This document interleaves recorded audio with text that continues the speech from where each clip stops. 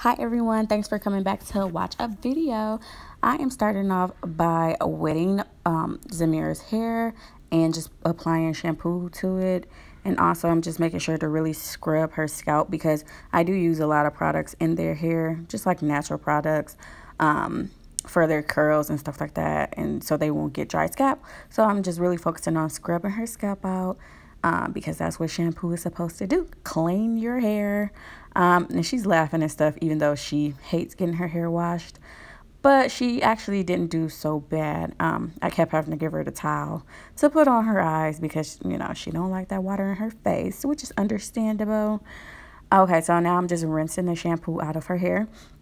And her hair is so curly to the point I have to make sure I check and check each section to make sure that the shampoo is all the way out, which is weird. She has like 4A, 4B type hair. Um, so I am done. And then now I'm starting on Zara's hair. And I am just wetting all of her hair, which she hates her hair wash out. It's ridiculous. But then I'm just wetting her hair. And then I will apply the shampoo to her hair. And just really work it in in her scalp and like around her edges and also in the middle of her hair because that's where it gets tangled the most. And sometimes she has dandruff. So I'm just scrubbing it, scrubbing it, scrubbing it.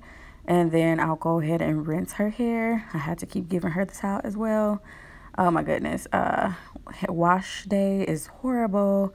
Please let me know some tips that you use, you know, for toddlers. Now I'm just applying some moisturizer to her hair. I'm parting a section. I always put grease in the part just because they get dandruff.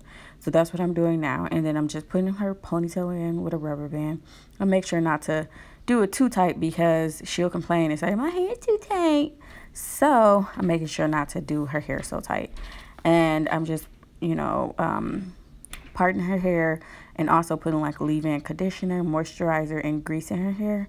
And then I have to make sure I'm detangling it. So I'm holding it at the root so I can just comb and detangle her hair.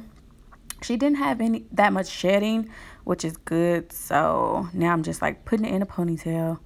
Um, yeah, and I love this little brush. I don't even know what it's called, but it's good for detangling um, curly hair. So I'm just brushing her in a ponytail and then I put some little bobos on her hair. Um, and this is just like a style after wash day. It wasn't that cute of a style, but I mean, it, it will work for like a week, you know, because she has daycare. Now I'm starting on Zamira's hair. I'm doing the same thing to her hair, parting her hair, detangling it, putting grease in her scalp, and also putting moisturizer on her hair. And her hair gets tangled so much to the point like I'm braiding it now, but before I'm done braiding it, I have to comb it again because the ends are like really curly and I just want to make sure that her braid is very smooth. So that's what I'm doing. And then I'm also parting her hair, putting moisturizer in it, grease, conditioner, everything in her hair. And yeah, she always, they always want their hair the same. They always say, oh, I want my hair like Zara's or I want my hair like Zamira's So I always make sure to try to do their hair in a similar style because they're twins and it just looks cute to me. So I'm just brushing her hair and putting it in ponytails.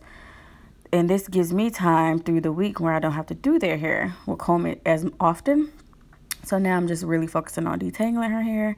I'm spraying water in there also, even though she just got a wash, but her hair works really well with water. So that's what I'm doing. And then just brushing it into a ponytail and putting little bobos on it because it's so cute.